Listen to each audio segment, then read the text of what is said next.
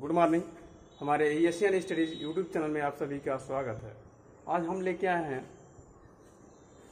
comparison of various biasing circuit. इसके लिए पिछले वीडियो हम लोग जो है बायसिंग सर्किट के बारे में पढ़े थे, जैसे फिक्स बायस सर्किट पढ़े थे, कलेक्टर टू बेस बायसिंग और वोल्टेज डिवाइडर बायसिंग के बारे में हम लोग पढ़े थे। आज हम उस सबका कंपेरिजन करते हैं, तुलना करते हैं इसमें क्या डिफरेंस आता है, ठीक है? तो हम लोग पैरामीटर्स मान रखे हैं। कन्फिगरेशन की रिगार्डिंग पैरामीटर्स दिया अमीटर रेजिस्टेंस पर हो गया इसका। Q point stability circuit arrangement और number of element are use इसमें इसको हम लोग पैरामीटर मान करके इसका कंपेरिजन हम लोग करेंगे। देखते हैं कन्फिगरेशन के रिगार्डिंग इसमें फिक्स बायस ये मेरा सर्किट है बायसिंग सर्किट है। जिसमें हम लोग बायसिंग को क्या कर दिया फिक्स कर दिया, ठीक है? इसी से हमको फिक्स एक बायसिंग मिल रहा है वोल्टेज मिल रहा है आरबी रेजिस्टेंस को मिल रहा है, ठीक है? इसकी बायसिंग हमारी क्या होगी? फिक्स हो गई। यहाँ कलेक्टर टू बेस बायसिंग है। इसमें क्या कर रहे हैं हम? कलेक्टर टर्मिनल से बेस को बाइसिंग प्रोवाइड करा रहे हैं। इसलिए इसको हम कह रहे हैं भाई collector to base biasing circuit clear अब हम लोग देखते हैं वोल्टेज डिवाइडर बायसिंग तो वोल्टेज डिवाइडर बायसिंग हमारे कई रेजिस्टेंस लगे जैसे एक आर वन आर टू हो गया। इसको मैं लिख देता हूँ R one R two sorry इसको आर वन ले लिया मैंने ये हो गया मेरा R two clear R one हो गया, ये हो गया आर टू ठीक? इसमें R one R two R C और आर ई हमारे चार रजिस्टर लगे रहते हैं। और इसमें जो वोल्टेज डिवाइडर की तरह जो बाइसिंग प्रोवाइड कराता है आर वन आर टू जो है, एक वोल्टेज डिवाइडर हमको कराने का काम करता है इस सर्किट में, ठीक है? ये वोल्टेज डिवाइडर है, ये वोल्टेज डिवाइडर बाइसिंग को प्रोवाइड करता है। इस बाइसिंग को हम कहते हैं सेल्फ बाइसिंग कह सकते हैं, या emitter to base emitter biasing circuit कह सकते हैं आप, ठीक है? दिस बाइसिंग क्लियर और हम देखते हैं अमीटर रेजिस्टेंस के पैरामीटर की गाड़ी हम उसको कंपेरिजन कर रहे हैं। और हम देखते हैं अमीटर रेजिस्टेंस देखते हैं तो इसमें जो अमीटर रेजिस्टेंस इसमें यूज़ नहीं है, ठीक है?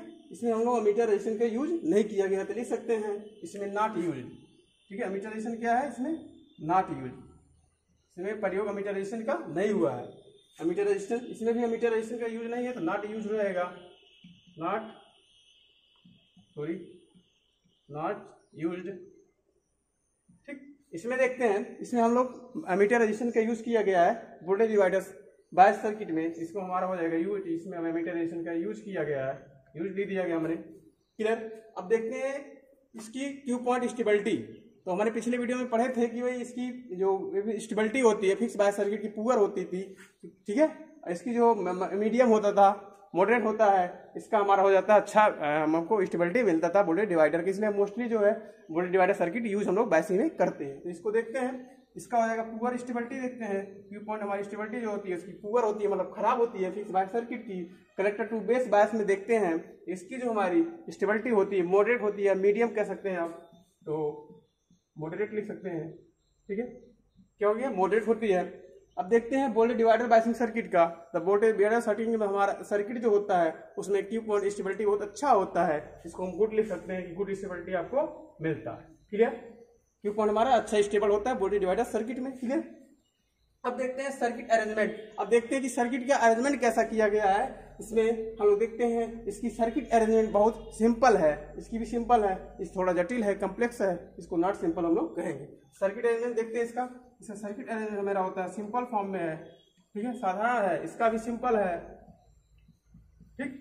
अब इसको देखते हैं। तो हमारा नॉट सिंपल है। सिंपल नहीं कम्प्लेक्स फॉर्म है। इसको मैंने एडवांटेज में मेंशन भी किया था। तो वोल्टेज डिवाइडर बाइसिंग सर्किट में डिसऑर्डिनेंस बताया भी गया था कि सर्किट जो होती है कम्प्लेक्स होती है। तो नॉट सिंपल लिख सकते हैं कम्प्लेक्स भी लिख सकते हैं, ठीक है? क्लियर और हम चलते हैं number of element are use इसमें नंबर ऑफ़ एलिमेंट हमारे क्या यूज़ किए हैं, इसके बारे में लोग पढ़ते हैं, ठीक है? इसमें देखते हैं नंबर ऑफ़ एलिमेंट हमारे होते हैं, कुछ होते हैं फ्यू ठीक है? कहते हैं वन रेजिस्टेंस वन रेजिस्टेंस जिससे हमारा आरबी हो गया एक वन रजिस्टर हमने यूज़ इसमें किया है। ठीक है, इसमें देखिए एक आरबी रजिस्टर हमने यूज़ किया है। तो फ्यू वन रजिस्टेंस आरबी हमारा यूज़ किया है फिक्स बाय सर्किट में। इसमें भी इसी प्रकार देखते हैं। इसमें भी हो जाएगा। Few one resistance resistance RB जो हम लोग इसमें यूज़ हुआ है। क्लियर ए आरबी ठीक है? अब यहाँ देखते हैं मोर हमारे हो जाते हैं। एलिमेंट हमारे नंबर ऑफ़ एलिमेंट जो यूज़ किया गया, बहुत अधिक एलिमेंट किया है। इसमें एक, दो आर वन हो गया आर टू हो गया आर सी हो गया आर ई हो गया। इसमें मोर रेजिस्टेंस को लिख सकते हैं मोर एलिमेंट हम लोग यूज़ किया गया है। ठीक है? इस टाइप के हमारे कंपेरिजन को मैंने इसके वेरियस बाइसिंग सर्किट का मैंने कंपेरिजन किया। आशा करते हैं कि हमारी वीडियो आपको अच्छी लगी होगी। धन्यवाद।